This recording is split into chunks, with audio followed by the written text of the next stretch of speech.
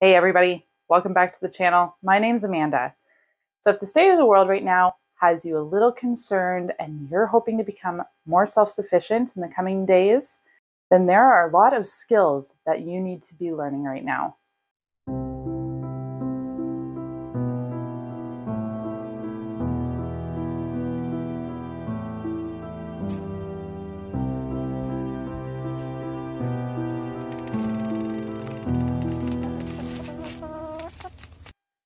It's really important to stock food and to have your pantries full, but that's just the beginning. To become self sufficient, there are a lot of different skills that you need to learn. Skill stacking is a really important habit to put into your life so that you can become self sufficient and protect your family when there is a crisis.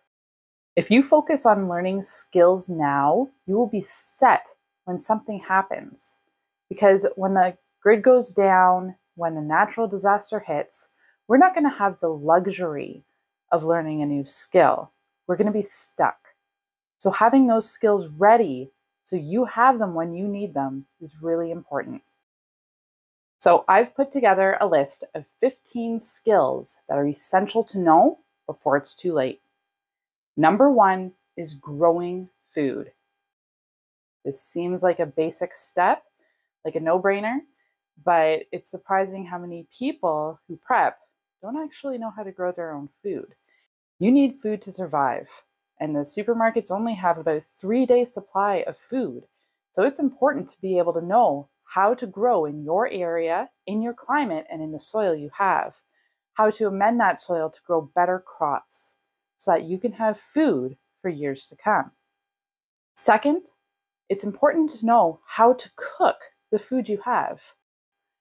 Cooking from scratch seems to be a skill that's been lost.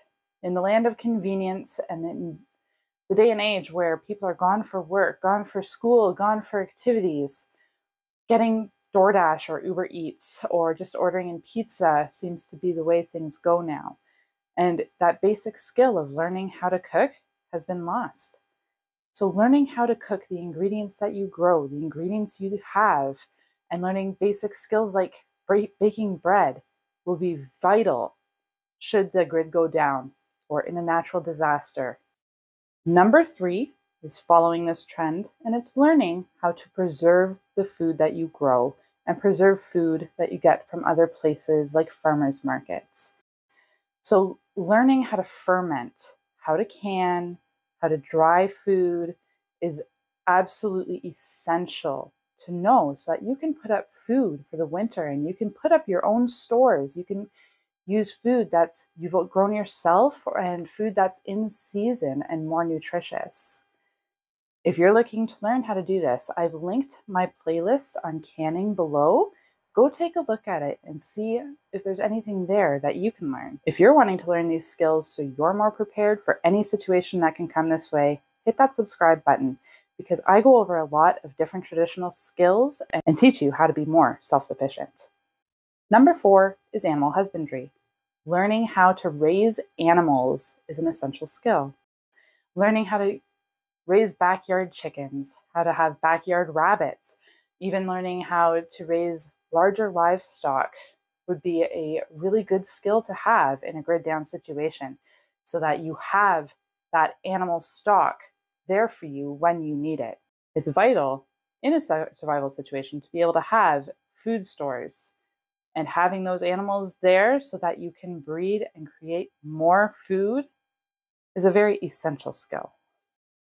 Following that up is also learning how to butcher those animals. It's useless to be able to raise an animal and not know how to harvest it to eat.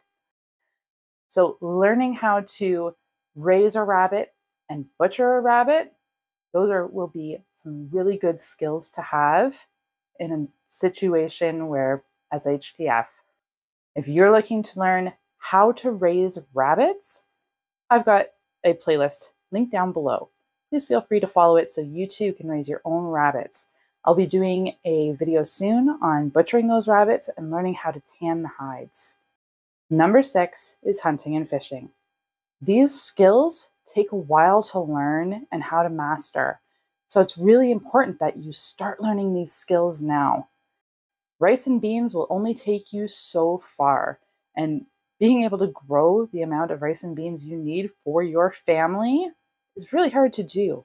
So being able to go out and get another protein source, like hunting deer or moose or bear, and fishing for fish, those will be essential practices in a grid down situation, in a disaster situation. So start learning now because it will be important later on. Learning how to start a fire. It is so important to learn how to start a fire. Not only will it keep you warm, but you can cook your food on it. So it is very important. Which brings us to skill number eight, which is learning how to cook on a fire.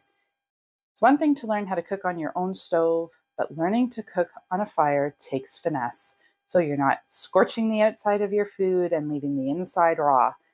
So it's really important to learn how to cook on a fire so you're doing it properly. Number nine is learning to forage for food. So, again, this is a skill that takes a lot of time and practice to know what berries and mushrooms are good for you, which ones could kill you. Learning what food is healthy and what food is not, what food is edible, what food is not. Because food is so vital, if you cannot grow your own food and the supermarkets are all down and you've run out of food, you're going to need to know how to forage food for yourself and your family. It's a really great skill to start learning now because it will take you a while to learn what in your climate, in your area, is edible. Herbalism is number 10. Learning to treat illness and ailments with the wild ingredients around you will be a really great asset should SHTF, should you need it. Having that skill set takes a while to learn, but it is number 11 is learning how to build a shelter. Have. Say a natural disaster happens and your house is gone and there's no supports around, but you need shelter. Learning how to build that shelter in the climate where you are to keep you safe is absolutely important to do. So, learning to build a, shelter is number 11 on the list. Number 12 is learning how to follow a map and use a compass. We have all become dependent on our GPS systems, and many do not know how to read a map or follow a compass. And in a disaster situation where you're looking to find shelter, where you're looking to find a bug out situation, if you can't read a map, your cell phone and GPS is not going to help you. You need to be able to learn to number 15 use basic first aid and CPR.